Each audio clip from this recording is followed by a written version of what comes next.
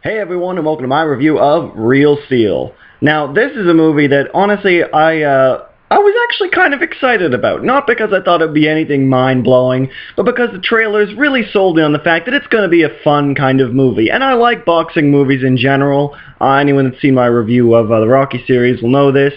And uh, frankly, it's actually uh, very easy to draw direct comparisons between Real Steel and a lot of these other types of movies. Uh, it's a very formulaic movie. You know every plot twist that's coming uh, before it happens.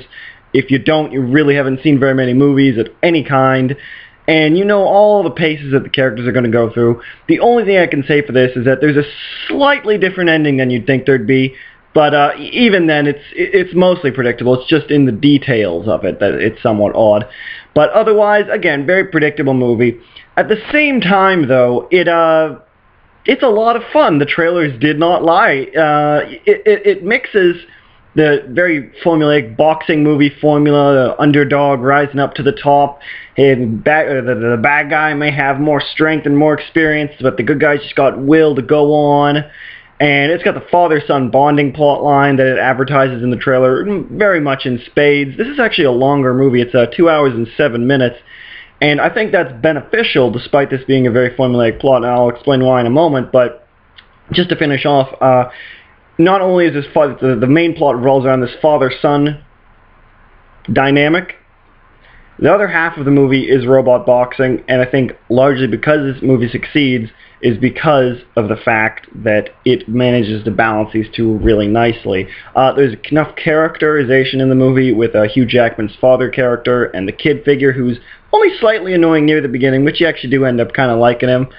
And the robot boxing itself. It doesn't really undersell either one. And again, the runtime is, is uh, really key here because while it could have been shorter, it could have told the same story, I do not think it would have managed to sell its heart in that time. I think it needed the two hours and seven minutes to try and make that story seem believable and actually make you give a shit. And you, it's not like you have an enormous emotional investment by the end of the movie, but I think it still requires a, a decent bit of characterization to make that uh, you know, underdog rising up to the top plot line really work. By the end, you're expecting to make this like, oh yeah, go, go, go, and you get that in this one. Other movies, sometimes you don't, because they just don't spend enough time on the characterization. And this is far from what I was expecting, to be perfectly honest. I was expecting to be all robot battles, and I was cool with that, just going in to see a fun movie. But uh, I'm glad they definitely went this route. That said, robot fighting, there is a good amount of it. Not only does it manage to do its characterization, but it balances it really well, like I said. So while there is obviously those the montages that you'll get, uh, not only for training, but uh, also because uh, you have to move up leagues, uh, gains more popularity throughout certain points of the film. So you really only see uh, the beginnings of specific portions, like a low rung, league, final, so on and so on and the montage through the rest. And while it can feel like there were one too many montages, perhaps, uh, you do actually see a lot of robot fighting, um, more so than you would expect. So the only reason it feels like there's a lot of montages is because, honestly, it's really well done. And uh, just putting aside the characterization for a minute, they really make the the robots weighty, more or less. Uh, it's a nice mix of animatronics and digital animation here. And uh, every time, as in even boxing movies, they've managed to instill the robotic characters with that kind of sense of impact every time they're hit. And that's always, that always makes a good film. It's always exciting to see the battles, even if you kind of know where they're going.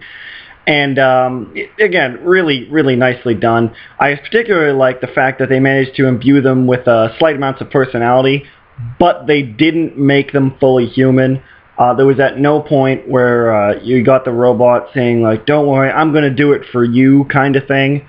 Um, they were still very much robots. They're very much a plot device, and while a very clever plot device to get across the same plots that we've been wa- watching for however many years now, uh, it's uh, it still works. Frankly, it still works. I really enjoyed it. Going back to the characterization for a moment, I like the fact that they don't necessarily shortchange some of the side characters too. Uh, they bring smaller villains back for their comeuppance, which is, again, depending on your uh, tolerance for predictable plot lines, that may be more annoying to you than it was to me.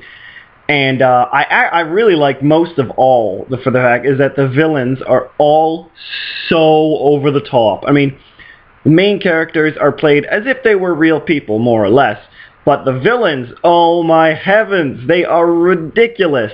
You have the evil Russian woman who talks like this, and I'm surprised her name wasn't Natasha.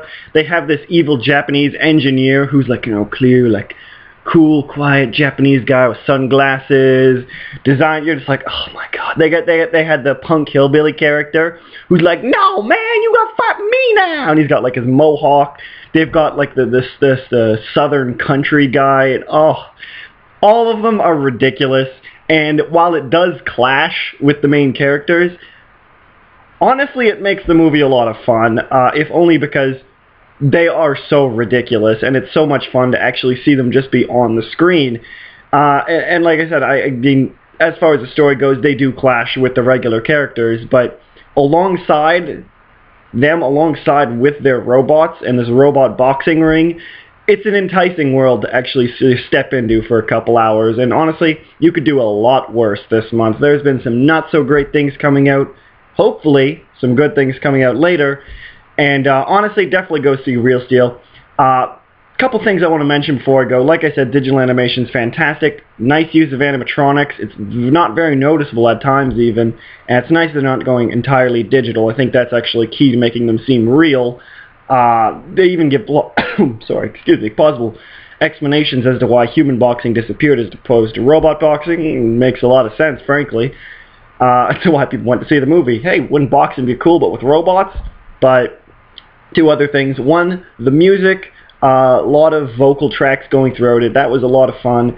I like how it just wasn't a, just a straight score. I think movies, a uh, movie like this, that's just really all about the entertainment with the slight emotional involvement, that really worked out for it. I really liked. Uh, every time they'd enter arena, you'd really get that feeling of excitement of going to an arena yourself almost, and uh, replicated that really nicely. One other thing they re- they replicated was the enormous amount of product placement in the arena, sports arenas, and wow, there's a lot of it here. It wasn't necessarily to the detriment of the movie because this is not uh, an incredibly in-depth movie that's really trying to make the greatest story ever told, but uh, it was very noticeable and took me out of the story. Not in the sense that I stopped enjoying it, but that I got a good chuckle out of noticing, wow, there is a lot of product placement here. Like every time they control the robots, there's like an HP logo. Uh, they, they go into Bing Arena, Coke, Xbox or Xbox 360. It's just absolutely insane the number of things that they're advertising. And but you know what? And again, in this movie, it really doesn't matter too much. Uh, didn't really take me out of it. And in all fairness, we are in sports arenas. They are do do that. So guess it's realistic in that sense. Arguably, wouldn't really matter if you're being realistic in a movie about robot boxing, but that's besides the point. Should you go see Real Steel? Yes, I think you should. It's a lot of fun. It's very much one of those, feels like one of those summer movies that you enjoy. It's not the best of summer, but it's a lot of fun to go to. And it's nice getting one of those ones in October before they start to dry up again, uh, before we have to wait until uh, December and March. Go see it. If you like the trailer, that's basically what the movie is you might like the movie slightly less or slightly more than I do, but I can't imagine anyone hating this movie. Uh, it, like I said, it's a very predictable movie, but it's one of those movies that, despite the fact that it's very predictable, manages to do hit all the right notes and do what it wants to well. And I can respect that. Sometimes that's all you want out of a movie. It's no high achiever, but Real Steel is a lot of fun.